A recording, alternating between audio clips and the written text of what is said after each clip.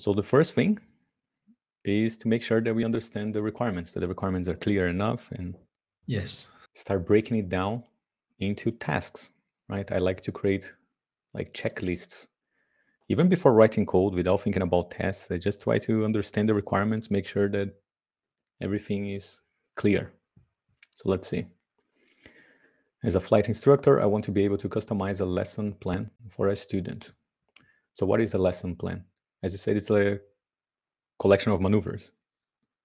Correct. Okay. So from a list of flight maneuvers, I can select different ones.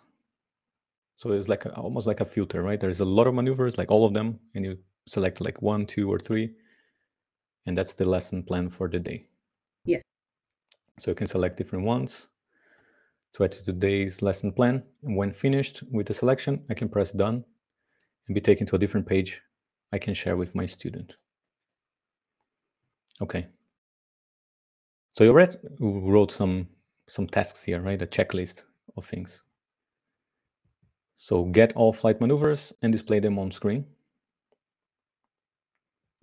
Then user selects maneuvers, hits done button. Okay, selected flight maneuvers are saved. Saved where? Probably on device. Okay. Locally, let's say. Then the selected flight maneuvers are displayed on a new screen with any additional information. What is this additional information here? So I was thinking when you display the flight maneuvers, you only have the name, but once you select it and it goes in the lesson plan, it would have a little bit more information, maybe a description, something. Okay.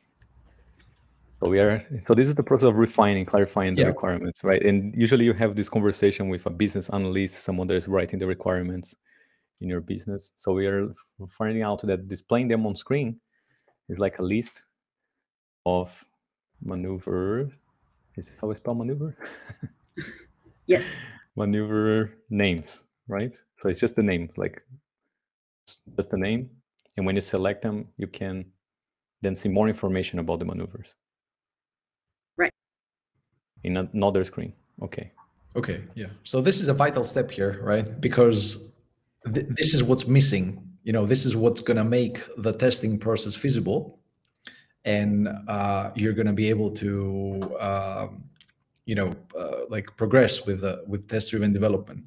Like making sure you take some time to think about these uh, steps, right? Like refine your requirements. And this is, by the way, this is probably not going to be done by anyone else. Like you're uh, the one who's going to have to ask a, a bunch of questions to, you know, make sure that you have all the information you need. All right. So we need to start asking questions like get all flight maneuvers, like from where? From an API, from a local database, from a predefined list. Yeah, let's say they're going to be on the API on the back end somewhere. Mm-hmm. from an API backend.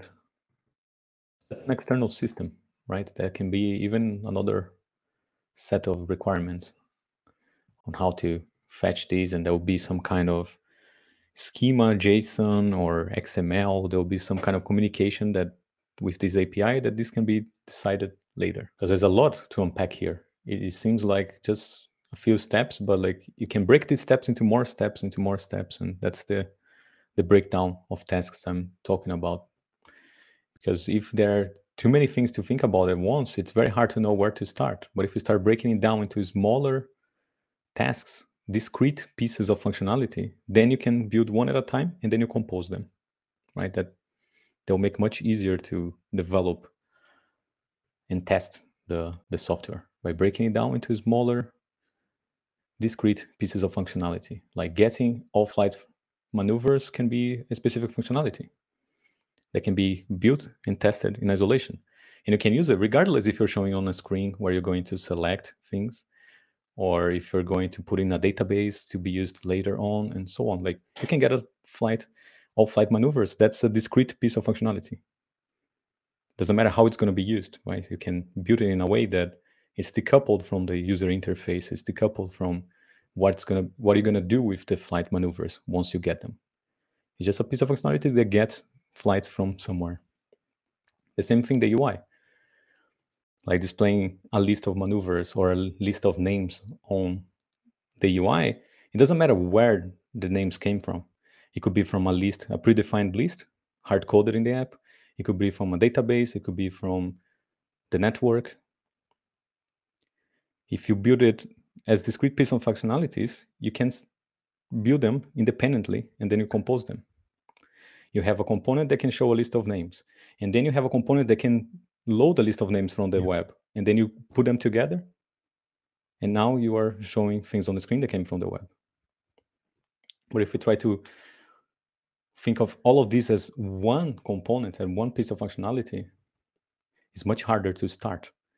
But if you break it down, it's like, let's solve this one problem at a time. One problem is to get flights from uh, a backend. Another problem is to show a list of names on the screen. Another problem is to select items on the screen. Another problem is to save a list of things locally to a database, and so on. They can all be split into discrete pieces of functionality that can be built independently and composed later to create the, the overall feature we're trying to build. Does it make sense what I'm saying? Yeah. yeah so you kind of think of them as little separate modules. Doesn't matter how it all works. Let's just say it works by magic for now. You just want the ability to, like in the first one, get the flight maneuvers. Doesn't matter how you did it. You just want to make sure they're there for you to use. Yes. Okay. But it requires a little bit of planning because if you just build all these pieces of discrete functionalities without a plan, maybe they're not going to, they will not compose well later on. They will not work well together, right? So that's where design comes in, right? So first step is to understand the requirements, and the second step is to quickly design or sketch a plan